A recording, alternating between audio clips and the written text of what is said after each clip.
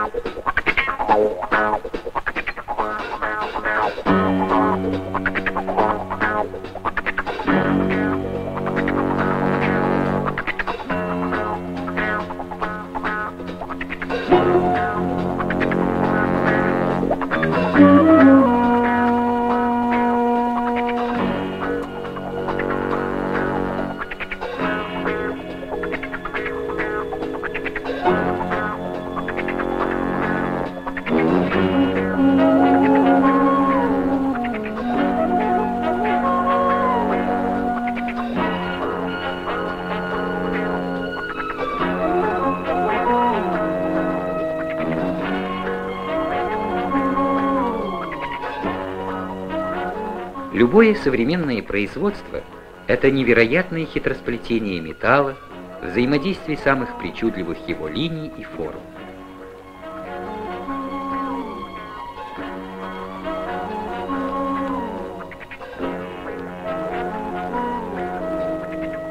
Сотни, тысячи предприятий принимают участие в этой пляске металла. И каждая деталь, где бы она ни была изготовлена, должна быть строго определенной формы и размера. Например, здесь, на автозаводе имени Лихачева, как и на любом промышленном производстве, ежедневно производится океан самых различных измерений. Но как упорядочить этот океан? Добиться единства и точности всех измерений? Говорит начальник отдела метрологии ЗИЛа Иван Андреевич Кретов. В 1976 году между нами и ВНИИМС был заключен договор о научно-техническом сотрудничестве по вопросам метрологического обеспечения производства. В результате совместной работы был создан сборник э, «Комплектные средства поверки», состав и характеристики оборудования поверочных лабораторий производственного объединения ЗИЛ.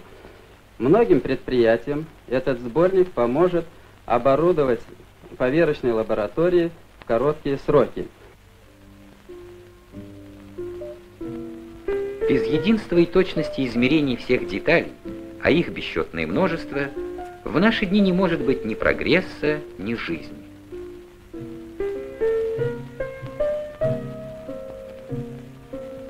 С помощью рабочих средств измерений уточняются линейные размеры.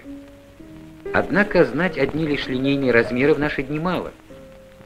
Взять хотя бы измерение шероховатости поверхности – для этой цели на производстве пользуются специальными приборами, профилометрами серийных моделей 201 и 283, изготовляемыми на заводе «Калибр».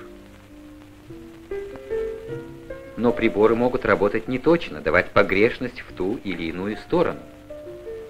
Производству остро потребовалось такое средство измерений, с помощью которого можно контролировать качество приборов, выпускаемых заводом а для его создания нужна мощная научная база. Так родился договор о научно-техническом содружестве между Всесоюзным научно-исследовательским институтом метрологической службы и заводом «Калибр». Общими усилиями науки и производства был создан этот прибор высокого класса точности. В зависимости от технического назначения деталей или вида изделий, с помощью профилометра-профилографа модели 252 можно определить нужные параметры поверхности.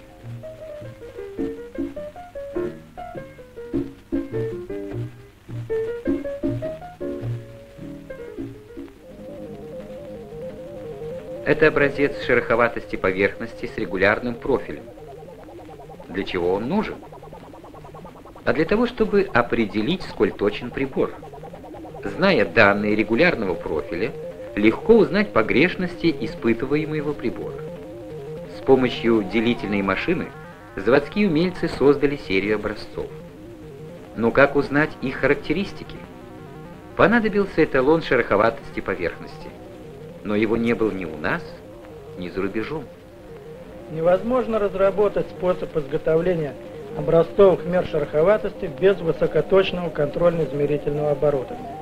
Кроме того, каждая мера шероховатости должна аттестовываться, то есть ей должно быть приписано действительное значение параметра шероховатости. Такое образцовое средство измерения должно обладать гораздо более высокой точностью, чем профилометр, профилограф 252 завода «Калибр». Кроме этого, такое средство измерений должно быть использовано и для всего народного хозяйства страны. За решение этой трудной задачи и взялся наш коллектив. И оно было завершено созданием специального государственного эталона в области измерения шероховатости поверхности и общесоюзной поверочной схемы в этой области измерения. Упрощенная схема эталона сводится к следующему. Лучи света от лазера и источника белого света попадают на наклонные светоделительные пластины. Делится на два потока и направляется по ветвям двух интерферометров. Эти потоки, отразившись от опорных зеркал и двух поверхностей эталонной меры шероховатости, одна из которых гладкая, а другая имеет регулярные неровности, образуют две интерференционные картины. Гладкая дает прямые интерференционные, а неровности изогнутые. Мера перемещается вдоль оси и вызывает перемещение интерференционных полос. По изгибу и числу переместившихся полос с помощью фотоэлектрических устройств счетчика определяет параметры шероховатости меры.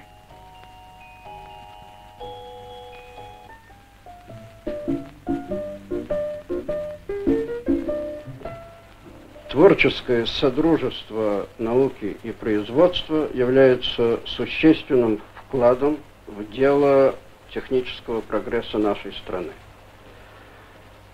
Создание коллективом НИИМС, эталона и образцовых средств измерения шероховатости поверхности является значительным э, достижением метрологической службы.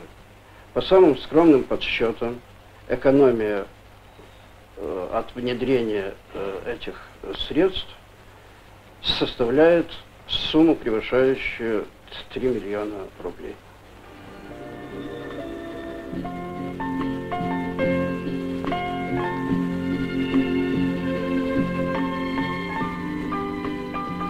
Завод «Калибр» изготовляет и такие измерительные приборы, как кругломеры модели 289 и модели 290. Для того, чтобы проверить точность кругломеров, нужно иметь шаблон с известными параметрами. Коротко о принципе устройства прибора. Это щуп. Он касается поверхности образца.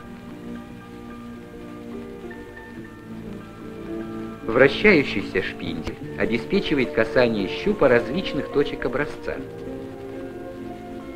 В результате на диаграммном диске мы получаем круглограмму, на которой изображены в увеличенном масштабе отклонения от правильной окружности.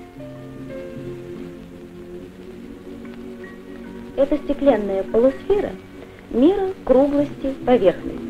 Она была также аттестована во ВНИИМС Зная ее параметры, мы смогли оценить погрешности наших приборов. Это помогло нам выпускать кругломеры высокого класса точности. Ученые института помогают нам испытывать и исследовать приборы, дают рекомендации по их совершенствованию и созданию новых.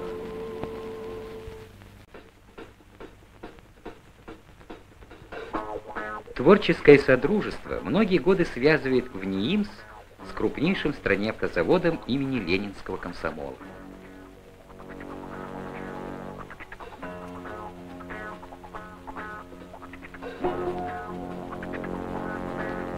Миллионы измерений проводятся ежедневно во всех цехах и службах автогиганта, чтобы полюбившийся всем москвич был надежен, долговечен, красив.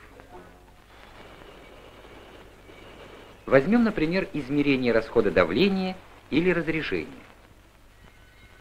Перед нами широко распространенный переносной прибор системы Петрова, предназначенный для поверки дифманометров расходомеров. Работа прибора основана на принципе уравновешивания разности давления весом столба жидкости. В качестве жидкости применяется ртуть, вредная для человека. Для проведения работ такими приборами должны быть оборудованы специальные помещения – так называемые ртутные комнаты. Это привело к необходимости создания прибора, принципиально отличного от старого, а главное, работающего без вредоносной ртути. Такой прибор был создан совместными усилиями в НИИМСа и лаборатории тепловых процессов измерения автоматики автозавода имени Ленинского комсомола. Перед нами автоматизированный задатчик избыточного давления типа поток. Принцип действия задатчика основан на динамическом взаимодействии потока воздуха с телом вращения поршня. Преобразователь представляет собой междроссельную камеру, образованную постоянным дросселем и переменным дросселем. Переменный дроссель выполнен в виде тела вращения шара, свободно расположенного в проточной части сопла.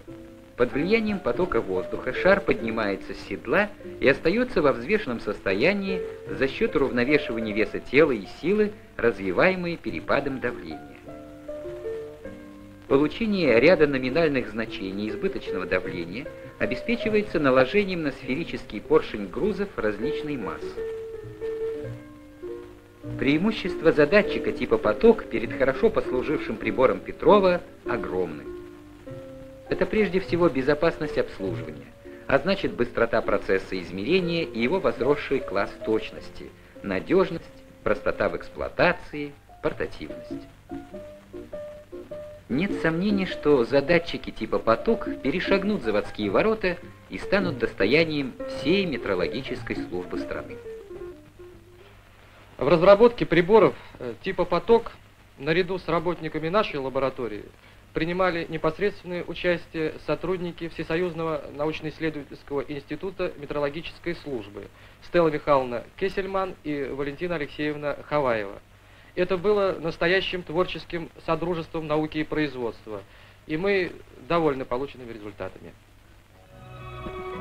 Давняя творческая дружба связывает Всесоюзный научно-исследовательский институт метрологической службы и с заводом «Манометр».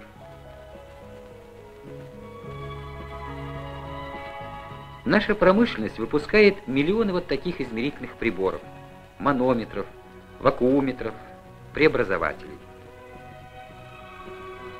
В промышленности и сельском хозяйстве, в медицине и лабораториях научно-исследовательских институтов эксплуатируется свыше 100 миллионов приборов и устройств для измерения давления и вакуума. В процессе рождения каждый прибор на заводе тщательно проверяется, регулируется, доводится.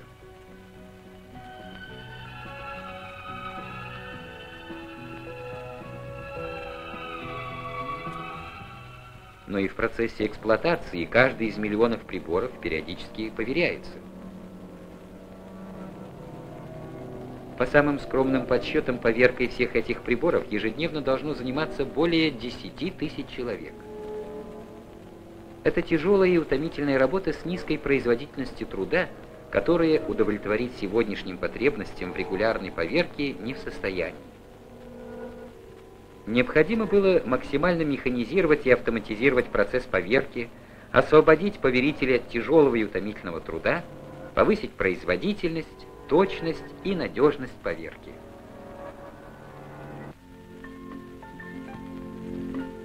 Творческим содружеством в НИИМСа и завода «Манометр» была создана эта установка – автоматический задатчик давления, за которую был получен совместный патент.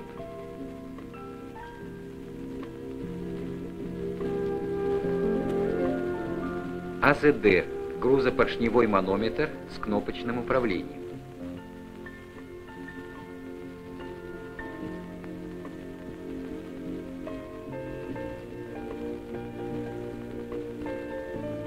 Грузы устанавливаются автоматически.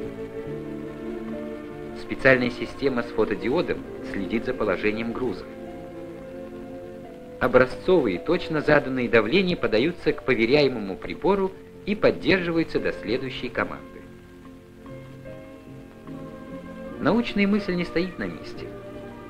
Перед нами модификации прибора автоматический задатчик давления гидравлический.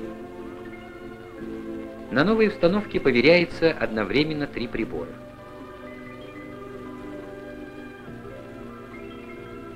Применение усовершенствованных модификаций АЗДГ уже в ближайшие годы поможет широко автоматизировать процесс поверки и повысить производительность поверителей более чем в три раза.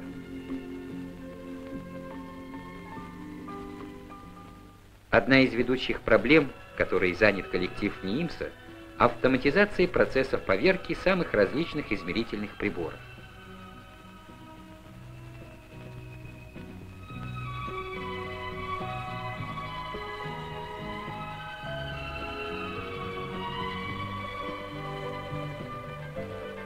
Намечена обширная программа с использованием электронно-вычислительной техники.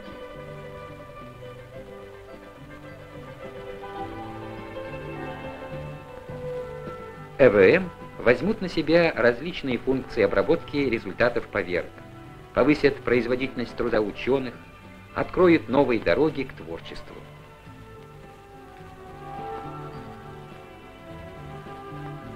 Сегодня и завтра процессов поверки – это курс на резкое повышение метрологического обеспечения производства. Это один из важнейших путей повышения его эффективности и улучшения качества продукции.